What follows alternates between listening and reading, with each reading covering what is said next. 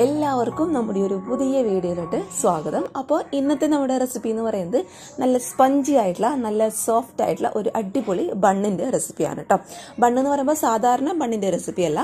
നമ്മൾ ഉള്ളിലൊക്കെ ഫില്ലിങ്സ് ഒക്കെ വെച്ചിട്ട് ഒരു പ്രത്യേക ഷേപ്പിലൊക്കെ ഉണ്ടാക്കിയെടുക്കുന്ന ഒരു അടിപൊളി ബണ്ണിന്റെ റെസിപ്പിയാണ് കുട്ടികൾക്കായാലും നമ്മുടെ മുതിർന്നവർക്കായാലും എല്ലാവർക്കും ഒരുപോലെ ഇഷ്ടപ്പെടുന്ന ഒരു അടിപൊളി റെസിപ്പി തന്നെയാണ് കേട്ടോ അപ്പോൾ എല്ലാവരും ഒന്ന് കണ്ടു നോക്കിയിട്ട് ട്രൈ ചെയ്ത് നോക്കുന്ന സമയത്ത് ഉറപ്പായിട്ടും ഫീഡ്ബാക്ക് അറിയിക്കുക. പിന്നെ കണ്ടുകൊണ്ടിരിക്കുന്ന സമയത്ത് ഈ ഒരു വീഡിയോ ഇഷ്ടപ്പെടുകയാണെന്നുണ്ടെങ്കിൽ മറക്കാതെ താഴെ കാണുന്ന ലൈക്ക് ബട്ടണിൽ ഇപ്പം തന്നെ ഒന്ന് ക്ലിക്ക് ചെയ്യണേ. വീഡിയോ കണ്ടുകൊണ്ടിരിക്കുന്ന സമയത്ത് ഒന്ന് ക്ലിക്ക് ചെയ്തിട്ട് സപ്പോർട്ട് ചെയ്യുക കേട്ടോ പിന്നെ പുതുതായിട്ട് നമ്മുടെ ചാനൽ കാണുന്നവരുണ്ടെന്നുണ്ടെങ്കിൽ സബ്സ്ക്രൈബ് ചെയ്തിട്ട് സപ്പോർട്ട് കൂടി ചെയ്യാം അപ്പോൾ നമുക്ക് വേഗം തന്നെ ഈ ഒരു ഫില്ലിങ്സ് ഒക്കെ വെച്ചിട്ടുള്ള നല്ല സ്പഞ്ചി ആയിട്ടുള്ള ബണ്ണ് എങ്ങനെ ഉണ്ടാക്കുന്നതെന്ന് കണ്ടു നോക്കാം ഈ ഒരു സ്നാക്സ് റെഡിയാക്കി എടുക്കാൻ വേണ്ടിയിട്ട് ഇതുപോലുള്ളൊരു പാത്രത്തിലോട്ട് ഇരുന്നൂറ്റി അൻപത് എം എൽ കപ്പിൽ അര കപ്പ് അളവിൽ ഇളം ചൂടുള്ള പാലാണ് കേട്ടോ ഞാൻ ഒഴിച്ചു കൊടുക്കുന്നത്. ഒരുപാട് ചൂടില്ല. നമുക്ക് കൈയൊക്കെ കുത്താൻ പാകത്തിലുള്ള ഒരു ഇളം ചൂട് മാത്രം. അപ്പൊ അര കപ്പ് അളവിൽ നമുക്ക് ഇതിലോട്ട് അങ്ങോട്ട് ഒഴിച്ചു കൊടുത്തേക്കാം. പിന്നെ ഒരു അര ടേബിൾ സ്പൂൺ അളവിൽ ഇൻസ്റ്റന്റ് ആയിട്ടുള്ള ഈസ്റ്റും കൂടി ഞാൻ ഇതിലോട്ട് അങ്ങോട്ട് ചേർത്ത് കൊടുക്കുകയാണ് ഒരു ടേബിൾ സ്പൂൺ അളവിൽ വെജിറ്റബിൾ ഓയിൽ അതേപോലെ ഒരു കോഴിമുട്ട നമുക്ക് ഇതുപോലെ ഇതിലോട്ട് അങ്ങോട്ട് പൊട്ടിച്ചു ഒഴിച്ചു കൊടുക്കാം. ഇനി ഇതെല്ലാം കൂടി ഇതുപോലുള്ളൊരു വിസ്കോ സ്പൂൺ ഉപയോഗിച്ചിട്ട് നന്നായിട്ട് ഒന്ന് മിക്സ് ചെയ്തിട്ട് എടുക്കാം ആ ഒരു പഞ്ചസാര കംപ്ലീറ്റ് ആയിട്ട് അങ്ങോട്ട് അലിയണം കേട്ടോ ഈ ഒരു പാലിൽ നന്നായിട്ട് ഇതുപോലെ ഒന്ന് മിക്സ് ചെയ്തിട്ട് എടുക്കാം നന്നായിട്ട് ഇതുപോലെ ഒന്ന് മിക്സ് ചെയ്തെന്ന് കഴിഞ്ഞാൽ പിന്നെ നമ്മൾ ഇതിലോട്ട് ചേർത്ത് കൊടുക്കാൻ വേണ്ടിയിട്ട് പോകുന്നത് ഒരു മുക്കാൽ കപ്പ് അളവിൽ മൈദയാണ് കേട്ടോ മൈദ എല്ലാം കൂടി ഒരുമിച്ച് ചേർക്കാതെ കുറച്ച് കുറച്ചായിട്ട് ചേർത്ത് കൊടുത്തിട്ട് നന്നായിട്ടൊന്ന് മിക്സ് ചെയ്തിട്ടെടുക്കാം മൈദ എല്ലാം കൂടി ഇട്ട് മിക്സ് ചെയ്യുന്നതിന് മുന്നേ ഇതിലോട്ട് ഒരു അര ടീസ്പൂൺ അളവിൽ ബേക്കിംഗ് പൗഡർ അതേപോലെ ഒരു നുള്ളു ഉപ്പും കൂടി നമുക്ക് ഇതിലോട്ട് അങ്ങോട്ട് ചേർത്ത് കൊടുത്തേക്കാം.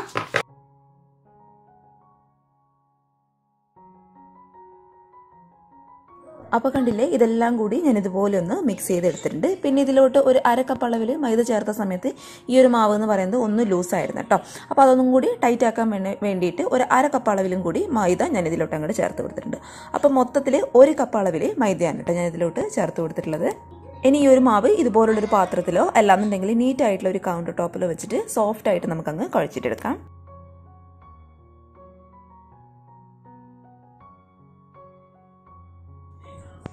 അപ്പോൾ ഇത് കണ്ടില്ലേ? ഈ ഒരു മാവ് നല്ല സോഫ്റ്റ് ആയിട്ട് ഞാൻ ഇതുപോലെ ഒന്ന് കുഴച്ചെടുത്തിട്ടുണ്ട്. നമ്മൾ കൈ വെച്ചിട്ട് ഇതുപോലെ തൊടുന്ന സമയത്ത് നല്ല സോഫ്റ്റ് ആയിരിക്കണം കേട്ടോ നമ്മുടെ മാവ് എന്ന് പറയുന്നത്. അപ്പോൾ അത്ര നല്ല സോഫ്റ്റ് ആയിട്ട് കുഴച്ചിട്ടെടുക്കാം. ഇനി നമുക്ക് ഈ ഒരു മാവ് റെസ്റ്റ് ചെയ്യാൻ വേണ്ടിയിട്ട് വെക്കാം കേട്ടോ.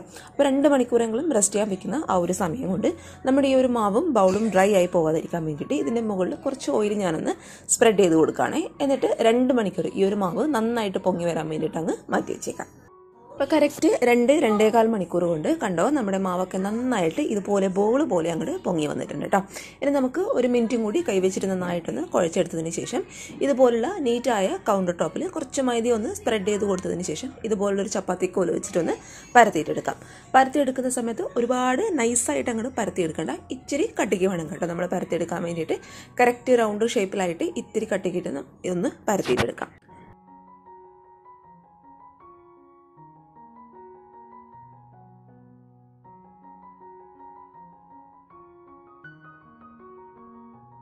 പരത്തിയെടുത്തിട്ടുള്ള ഈ ഒരു മാവ് നമുക്ക് ഇതുപോലൊരു കത്തി വെച്ചിട്ടോ അല്ലാന്നുണ്ടെങ്കിൽ പിസ്സ കട്ടർ കയ്യിലുള്ളവർ അത് വെച്ചിട്ടോ ഈ ഒരു ഷേപ്പിലൊന്ന് കട്ട് ചെയ്തിട്ടെടുക്കാം.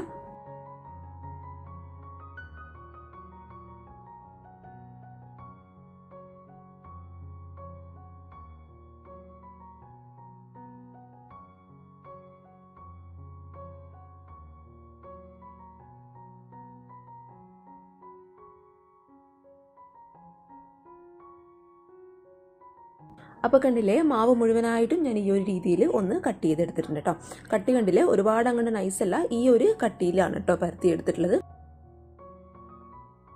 ഇനി ഈ ഒരു മാവ് ഒരു നാൽപ്പത്തഞ്ച് മിനിറ്റും കൂടി റെസ്റ്റ് ചെയ്യാൻ വേണ്ടിയിട്ട് അങ്ങ് മാറ്റി വെച്ചേക്കാം കേട്ടോ. ആ ഒരു സമയമാകുമ്പോഴേക്കും നമ്മുടെ മാവ് ഒന്നും കൂടി അങ്ങോട്ട് വീർത്ത് വരും. അപ്പോൾ അതിന് വേണ്ടിയിട്ടാണ് അതുപോലെ അങ്ങ് ചെയ്ത് കൊടുക്കുന്നത്. പിന്നെ ഓരോ പീസും മറ്റൊരു പീസിൽ നിന്ന് ഇതുപോലെ ഗ്യാപ്പ് ഇട്ടിട്ട് വേണം വെക്കാൻ വേണ്ടിയിട്ട്. എല്ലാം കൂടി അടുപ്പിച്ച് വെച്ചെന്ന് കഴിഞ്ഞാൽ ആ ഒരു മാവ് വീർത്ത് വന്ന് മറ്റൊരു മാവിലേക്ക് അങ്ങ് ടച്ചായി എല്ലാം കൂടി അങ്ങോട്ട് ഒട്ടിപ്പിടിച്ചു പോകും കേട്ടോ. ഇനി ഈ ഒരു മാവിന്റെ മുകളിലോട്ടായിട്ട് ഒരു നനഞ്ഞ ടവലോ അല്ലാന്നുണ്ടെങ്കിൽ ഒരു നനഞ്ഞ തോർത്തോ നമ്മൾ ഉപയോഗിക്കാത്ത ഏതെങ്കിലും നല്ലൊരു വൃത്തിയുള്ള കോട്ടൺ തുണിയോ നനച്ചിട്ട് നമുക്ക് ഇതുപോലെ ഇതിന്റെ മുകളിലോട്ടായിട്ട് അങ്ങോട്ട് ഇട്ട് കൊടുത്തേക്കാം എന്നിട്ട് ഒരു നാൽപ്പത്തഞ്ച് മിനിറ്റ് റെസ്റ്റ് ചെയ്യാൻ വേണ്ടിയിട്ട് അങ്ങ് മാറ്റി. അപ്പോൾ കണ്ടില്ലേ നാൽപ്പത്തഞ്ച് മിനിറ്റ് കൊണ്ട് നമ്മുടെ ഓരോ പീസും ചെറുതായിട്ടൊന്ന് പൊങ്ങി വന്നിട്ടുണ്ട്. അപ്പോൾ ഈ ഒരു രീതിയിലാണ് കേട്ടോ നമുക്ക് ആക്കിയിട്ടേണ്ടത് ഇനി ഒരു സ്റ്റൗവിൽ കുറച്ച് എണ്ണ ഒന്ന് ചൂടായിട്ട് വരുന്ന സമയത്ത് ഓരോ പീസും നമുക്ക് ഈ ഒരു എണ്ണയിലോട്ട് ഇട്ടിട്ട് നന്നായിട്ട് ഓരോ പീസും ഒന്ന് ഫ്രൈ ചെയ്തിട്ടെടുക്കാം തീ എന്ന് പറയുന്നത് ഒരു ലോ ടു മീഡിയം ഫ്ലെയിമിൽ ഇടുക. എന്നാലേ കറക്റ്റായിട്ട് ഉള്ളൊക്കെ കറക്റ്റായിട്ട് അങ്ങോട്ട് വെന്ത് കിട്ടുള്ളൂ ഒരുപാട് ഹൈ ഫ്ലെയിമിൽ ഇട്ടെന്ന് കഴിഞ്ഞാൽ പുറമേ പെട്ടെന്ന് അങ്ങോട്ട് കളർ മാറി കിട്ടും ചെയ്യും. ഉള്ള അങ്ങോട്ട് വെന്ത് കിട്ടുമല്ലോ കേട്ടോ ഇത് നന്നായിട്ട് ഫ്രൈ ആയിട്ട് വരുമ്പോൾ കണ്ടാൽ നല്ല ബോൾ പോലെയായിട്ട് അങ്ങോട്ട് പൊങ്ങി വരും കേട്ടോ. അപ്പോൾ ആ ഒരു രീതിയിൽ എല്ലാ പീസും നമുക്കങ്ങ് ഫ്രൈ ചെയ്തിട്ടെടുക്കാം.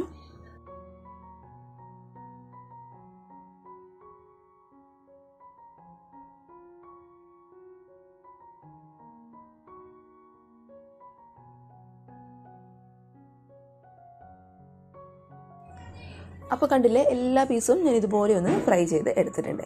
ഇനി നമുക്ക് ഇതിന്റെ ഉള്ളിൽ ന്യൂട്ടല വെച്ചിട്ട് ഒന്ന് ഫില്ല് ചെയ്ത് കൊടുക്കാം. ന്യൂട്ടലയ്ക്ക് പകരമായിട്ട് നിങ്ങൾക്ക് വേണമെന്നുണ്ടെങ്കിൽ ചോക്ലേറ്റ് ഗണാഷോ അല്ലാന്നുണ്ടെങ്കിൽ ജാമോ എന്ത് വേണമെങ്കിലും എടുക്കട്ടെ. അല്ലാന്നുണ്ടെങ്കിൽ ഇത് പ്ലെയിൻ ആയിട്ട് കഴിക്കാനായിട്ടും നല്ല ടേസ്റ്റാണ് ഇനി ഇതുപോലെ ഒരു കമ്പ് വെച്ചിട്ട് ഈ ഒരു പീസിന്റെ സൈഡിലായിട്ട് ചെറുതായിട്ടൊരു ഹോൾസ് ഇട്ട് കൊടുക്കാം. അതിനുശേഷം കുറച്ച് ന്യൂട്ടല്ലോ എന്താണോ നിങ്ങൾ ഫില്ലിങ്സിനായിട്ട് എടുക്കുന്നത്. അത് കുറച്ച് പൈപ്പിംഗ് ബാഗിൽ നിറച്ചിട്ട് ഇതുപോലെ അങ്ങോട്ട് ഈ ഒരു ബണ്ണിന്റെ ഉള്ളിൽ ആക്കി കൊടുക്കുക കേട്ടോ നമ്മൾ ജസ്റ്റ് ഒന്ന് പ്രസ് ചെയ്യുമ്പോഴേക്കും ആ ഒരു ഹോൾസ് ഇട്ട കാരണം എല്ലാ ബണ്ണിന്റെ എല്ലാ ഭാഗത്തും അതങ്ങോട്ട് സ്പ്രെഡ് ആയിക്കോളും. അപ്പോൾ എല്ലാ പീസിലും ഞാൻ ഇതുപോലെ ഒന്ന് ചെയ്തെടുക്കട്ടെ.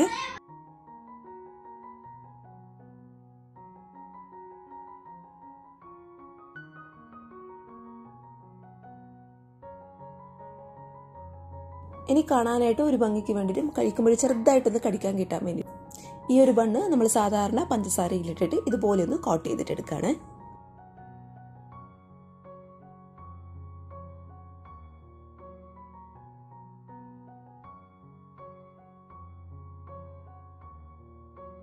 ഉള്ളൂ. നമ്മുടെ അടിപൊളിയായിട്ടുള്ള വെറൈറ്റി ആയിട്ടുള്ള സ്നാക്ക് ഇവിടെ റെഡി ആയി കഴിഞ്ഞു. ഇത് റെസ്റ്റ് ചെയ്യാൻ വെക്കുന്ന ആ ഒരു സമയം മാത്രമേ കുറച്ച് കൂടുതൽ എടുക്കുന്നുള്ളൂ. ബാക്കിയൊക്കെ എളുപ്പമാണ് കേട്ടോ ഉണ്ടാക്കിയെടുക്കാനായിട്ട്. ഞാൻ ഈ ഒരു പീസ് ഒന്ന് കട്ട് ചെയ്തിട്ട് കാണിച്ചു തരാം. അപ്പോൾ കണ്ടില്ലേ ന്യൂട്ടലൊക്കെ ആ ഒരു ബണ്ണിന്റെ എല്ലാ ഭാഗത്തും സ്പ്രെഡായിട്ട് നല്ല ടേസ്റ്റ് ഉണ്ട് കേട്ടോ ഇത് കഴിക്കാൻ വേണ്ടിയിട്ട്. ന്യൂട്ടലയാണെങ്കിലും ജാം ആണെങ്കിലും ചോക്ലേറ്റ് ഗനാശൊക്കെ ആണെങ്കിലും അടിപൊളി ടേസ്റ്റ് തന്നെയാണ്. നിങ്ങൾക്ക് എന്താണ് ഇഷ്ടമുള്ള ഫീലിങ്സ് അത് വെച്ചിട്ട് റെഡിയാക്കി എടുക്കാവുന്നതേ ഉള്ളൂ. അപ്പോൾ എല്ലാവരും ഒന്ന് തയ്യാറാക്കി നോക്കുന്ന സമയത്ത് ഉറപ്പായിട്ടും ഫീഡ്ബാക്ക് അറിയിക്കുക. പിന്നെ ഈ ഒരു വീഡിയോ കണ്ടുകൊണ്ടിരിക്കുന്ന സമയത്ത് ഇഷ്ടപ്പെട്ടാൽ എന്തായാലും ലൈക്ക് ചെയ്യട്ടോ. ലൈക്ക് ചെയ്യാതെ പോലെ പ്ലീസ് ഒന്ന് ലൈക്ക് ചെയ്തിട്ട് സപ്പോർട്ട് ചെയ്യണേ. പിന്നെ പുതുതായിട്ട് നമ്മുടെ ചാനൽ ആരെങ്കിലും കാണുകയാണെന്നുണ്ടെങ്കിൽ കണ്ടിഷ്ടപ്പെട്ടാൽ താഴെ കാണുന്ന റെഡ് കളറിലെ സബ്സ്ക്രൈബ് ബട്ടനും കൂടി ഒന്ന് പ്രസ് ചെയ്തിട്ട് സപ്പോർട്ട് ചെയ്യട്ടോ പിന്നെ നിങ്ങൾക്ക് ഈ വീഡിയോ ഉപകാരമാകാൻ തോന്നുകയാണെന്നുണ്ടെങ്കിൽ നിങ്ങളുടെ ഫാമിലിയും ഫ്രണ്ട്സൊക്കെ ആയിട്ട് വീഡിയോ ഒന്ന് ഷെയറും കൂടി ചെയ്ത് കൊടുക്കാം. അപ്പോൾ നാളെ നല്ലൊരു വീഡിയോ ആയിട്ട് കാണും വരെ. താങ്ക് യു ഫോർ വാച്ചിങ് സിന്നാസ് ഫുട്ബോൾ ബൈ